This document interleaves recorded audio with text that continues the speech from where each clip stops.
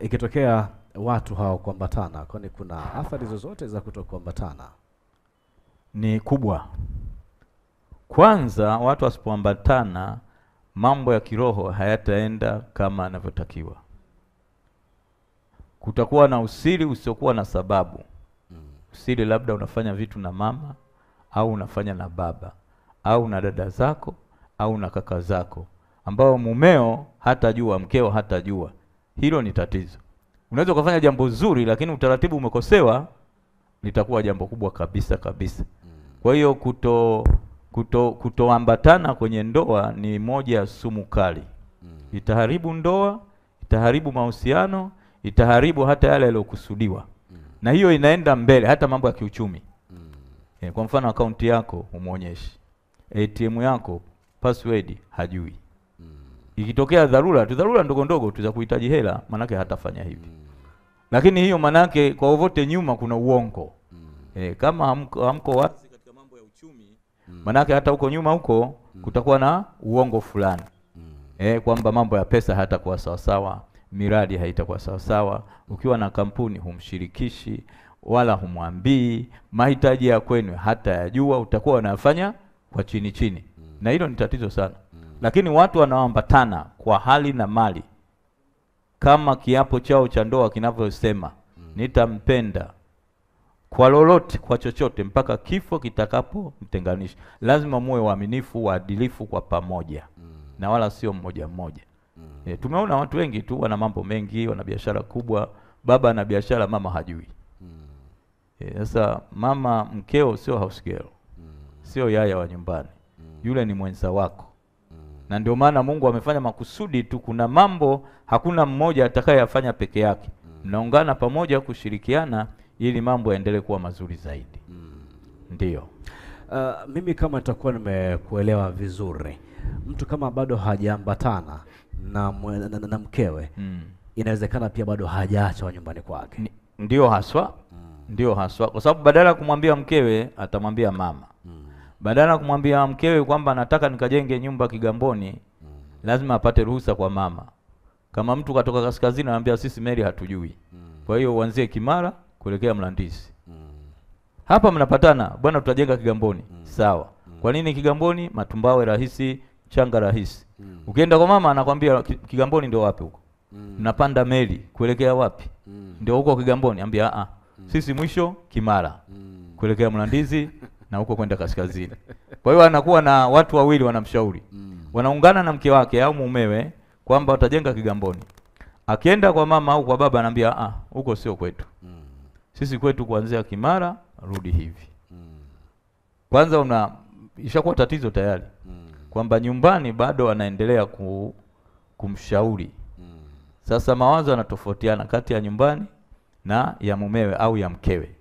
Basi wakati mwingine wanaanza ugomvi ambao huujui mwanzo wake, lakini kwa wovote kuna namna. Huko nyumbani ndiko anapata maelekezo. Kwamba fanya hiki, fanya hiki, fanya hiki, fanya hiki, na mara kwa mara utamwona tu anaenda nyumbani mara kwa mara. Mara kwa mara. Wengine wanazidisha mpaka akitoka kazini lazima apitie nyumbani aje hapo anapokaa. Ni kama hosteli fulani hivi nyumbani. Uh, mchungaji, pengine we, we kwa nafasi yako utakuwa umeshakutana na watu mbalimbali. mbali. Tatizo la kutokuambatana lipo kwa kiasi gani hasa katika makanisa? E, lipo kubwa, sijajua kwa asilimia kiasi gani, lakini lipo kubwa, haswa kwa hizi ndoa zinazotengenezeka ki, ki, ki artificial. mm. Yaani mtu kwanza hajawa committed, hajawa tayari kuolewa, ila anaolewa kwa show show. Eh, lakini hata wakati wa kuagwa nako mm. ni dalili mojawapo kwamba asiambatane na huyo mume na huyo mke. mm. Eh, kwa mfano binti anaambiwa nenda, chumba chako kipo na funguo tunaiweka hapa. Ukiona shida shida unarudi mara moja. Hapa hapatakaa mtu zaidi ya wewe. Eh. Hiyo ni dalili kwamba aje kila saa, kila wakati kupata ushauri kutoka kwa wazazi. Sasa wakati anaagwa anatakiwa ambiwe nini? Ambiwe kwanza, tunashukuru umepata mumeo, tunawashukuruni. Sasa muende mkaanze mji wenu, mkaambatane, mkafanye mipango yenu. Sisi tutakuwa kama washauri. Eh, kushauriwa unaweza ukachukua hayo unashauriwa ama hapana. Lakini sio mambo bila hivi kama hujatoka kwenye tumbo la ah ah, sio sawa sawa. Maana mwingine anamwambia kama hujatoka kwenye tumbo langu nenda huko Kigamboni. Sasa kwa wote hawezi akafanya kinyume cha mama yake. Mama yake alitakiwa mshauri kwamba matumbawe yako rahisi kule, mchanga rahisi, endelea. mm. Meli tutaipanda. Kwa hiyo nataka kuniambia kumbe inawezekana pia wazazi ni sababu mojawapo inayochangia wanandoa wapya kutokuambatana. Ndio. Kwa mfano huu ambao umeutoa Ndio, ndio, ndio. wale wako kufanya kitu fulani. Ehe, ndio kabisa, kwa sababu maelekezo yote yanatoka kwa wazazi, Mm. kama wazazi, kama kaka, kama dada, wowote hao, kwamba yeye haelekezwi wala hawakai pamoja ushauriane yeye na mumewe nini kifanyike, Mm. Ila kila kitu anaenda kuuliza kwa baba. Mume wangu anataka hivi, anatuambia acha hiyo, usifanye hata kidogo. Kwa hiyo mama anamwelekeza binti yake bila ya kushirikishwa yule mume.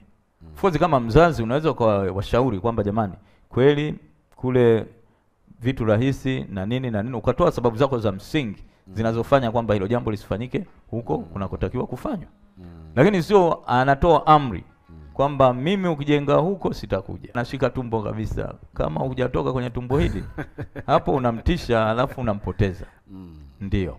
Umegusia tu uh, sababu moja za watu kutokuambatana, ukisema uh, wengine wanakwenda katika ndoa kama show. mm.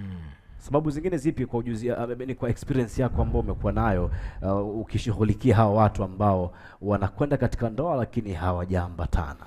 Okay, nyingine ni ile kujua hiyo maana ya kuolewa na kuoa. Ya kwanza unatakiwa uwe umepevuka kimawazo, of course na kimwili. Kupevuka kimawazo na kimwili maana yake kuamua mambo yako kwa usahihi na kwa uhakika kwa manufaa ya hiyo ndoa, wala sio kwa manufaa ya mtu mwingine. Eh, Lakini mwingine hasa hata ile anavyoingia kwenye ndoa mle, tunashuhudia mambo anayopewa kipaumbele mm. sio ya msingi wakati mwingine mm. eh, ni labda nguo na vitu vingine vidogo vidogo ambavyo hata visipokuwepo ndoa inaendelea. Mm. Sasa hayo kwa sababu pengine hawajajua vizuri au huu utaratibu wa kusema kwamba katika raha na shida, furaha si ugonjwa, na haya mambo mengine, nitakuwa pamoja nawe, nikupende mpaka kifo kitakapotutenganisha. Inaonekana kama inatoka kwenye mdomo, Mm, sio moyoni. e, sio moyoni. Kwa hiyo mkishaoana, baada ya wiki mbili anarudi.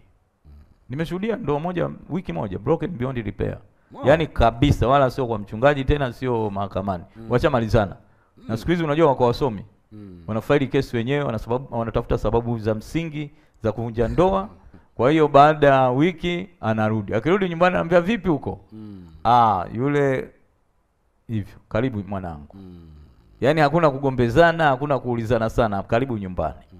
Pako wazi, chukua ufunguo wako, ingia ndani, Mm. uwe na amani mwanangu. Wanamtia moyo uwe na amani. mm. Kwa hiyo wakati mwingine wao wenyewe wanaoa pengine hawajajua haswa maana ya kuoa. Maana maana ya kuoa kwanza uwe tayari hata kiakili, kwanza hata kimaisha kwamba umtunze, tu- mtunzane. Siku hizi tunasema kutunzana. Kwamba mama amtunze baba, baba amtunze mama. Wao wenyewe kwa kadiri wanavyoona. Kwa mfano, taratibu nyingine huwezi ukazipeleka kwenye nyumba mpya. mm. E, wengine wana utaratibu wa kunywa uji asubuhi.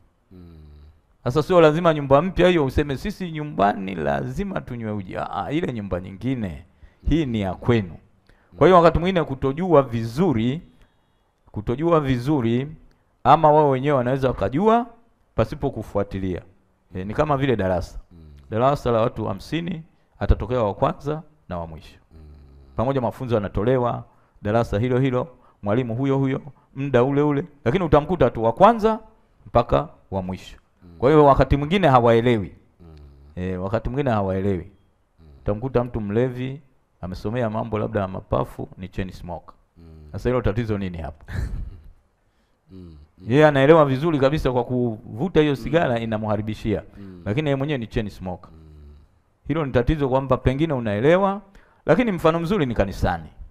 Kanisani watu pale wanaingia, tunafanya ibada, wanatubu, mwishoni tunawaaga, enendeni kwa amani ya Bwana. Wakitoka pale getini kama jana. Maisha na ndio maana kila Jumapili tunaendelea Eh. na hivyo vipindi vinavyoendelea katikati, vinginevyo sasa hizi tungekosa kazi. Kwa hiyo nataka kusema waendelee hivyo ili kazi iwepo. Eh, sio sana lakini tutafanyaje sasa?